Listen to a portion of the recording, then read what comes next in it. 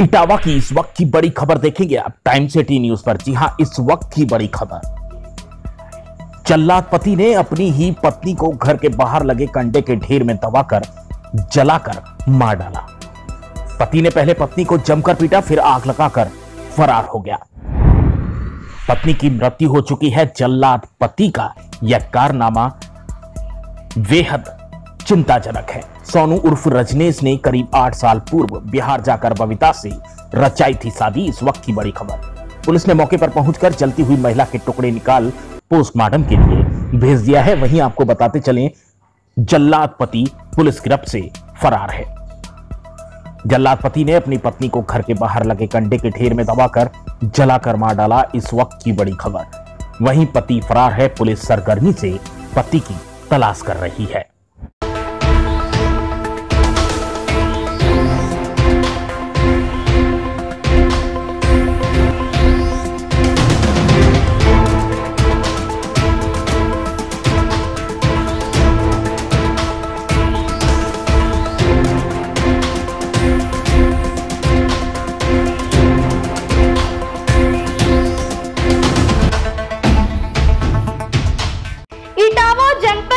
के friends, colony क्षेत्र के गाँव ईट गाँव में गुरुवार की दोपहर करीब तीन बजे जल्लाद पति ने अपनी पत्नी को घर से बाहर लगे कंडे के ढेर में दबाकर जलाकर मार डाला।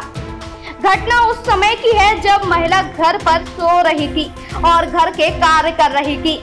तभी उसके पति ने उसके साथ मारपीट की और घर के बाहर लगे कंडे के ढेर में दबाकर आग लगा दी और मौके से फरार हो गया।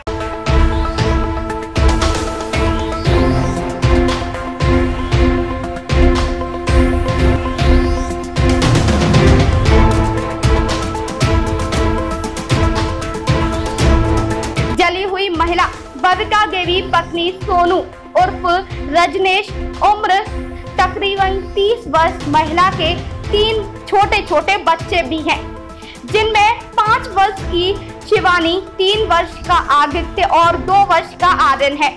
महिला के ससुराल वाले घटना के बाद ही घर से फरार हैं जिस वजह से घटना की सही जानकारी नहीं मिल पा रही। देखिए अभी थोड़ी देर पहले हंड्रेड नंबर पे सूचना प्राप्त हुई थी कि थाना फ्रेंड्स कॉलोनी में इटगांव नामक ग्राम में एक महिला ने आत्महत्या कर ली है उसके घर वालों ने उसके परिजनों ने बिना पुलिस को सूचना दिए बिना पंचायत यहाँ पोस्टमार्टम की कार्रवाई हुए उस सबको जला दिया है। तत्काल जो है पुलिस बल यहाँ मौके पर पहुँचा है और यहाँ पे उस महिला का जो तथाकथित महिला है उसका जला शव हम लोगों ने यहाँ रिकवर किया है।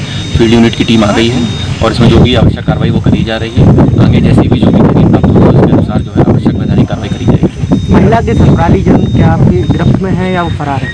देखिए अभी जो उनके ससुराल जन है अभी तो घर पे ताला लगा हुआ है कोई नहीं है यहाँ पे। और अभी ये जो आसपास से लोगों को सूचना मिली है कि वो उसके बाद जैसे ही पुलिस को सूचना हुई वो लोग घर को बंद करके यहाँ से भाग गए हैं। कुछ क्लियर होता है कब ये घटना है कब से जलाया गया है? ये मामला अभी जो प्रारंभिक तौर पे सूचना जो प्राप्त हो रही है अभी दिन का ही मामला बताया जा रहा है। बाकी चीज़ें जो है पार्ट ऑफ़ इन्वेस्टिगेशन है जाँच का विषय है और जो भी चीज़ें आएँगी वो जो महिला मूल रूप से कहाँ के निवासी आपको जानकारी दी है? देखिए अभी तक जो सूचना प्राप्त हुई है कि बताया जा रहा है कि ये बिहार की रहने वाली है। बाकी अभी जो उनके जो परिजन हैं उनसे संपर्क स्थापित किया जा रहा है और जल्दी जल्द जो है पूरी सूचना जो है एकत्रित कर ली जाएगी।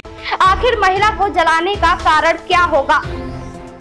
आग लगने की सूचना पर मौके पर पहुँची पुलिस फोर्स, बस, सिटी। सीओ वैभव कृष्ण पांडे ने जलती हुई महिला को कंडे के ढेर में देखा तो उन्होंने दमकल विभाग को सूचना दी और मौके पर पहुँची दमकल की गाड़ी ने करने से ढेर में लगी आग को बुझाया। और जली हुई महिला के अंजल शरीर के टुकड़े निकालकर इकट्ठा किए और पोस्टमार्टम के लिए भेजा। सोनू उर्फ़ रजनेश ने करीब आठ साल पूर्व बिहार जाकर बबिका से शादी रचाई थी, जिसके बाद बक्ता के तीन बच्चे हुए और वह हँसी खुशी अपनी ज़िंदगी जी रही थी। आखिर क्या कारण रहा होगा कि सोनू ने बबिता को इस बेरहमी से हत्या की? ये बताइए आपके सामने जो महिला पीछे आपका जली पड़ी हुई है। ये कहाँ रहती तो कब की घटना लग रही है आपको? ये शादी यहाँ वो बिहार से करके गए थे। अच्छा। और यहाँ रह रहे थे। ये पता नहीं कब क्या हुआ है क्या क्या हुआ उसके साथ ये तो मुझे पता नहीं।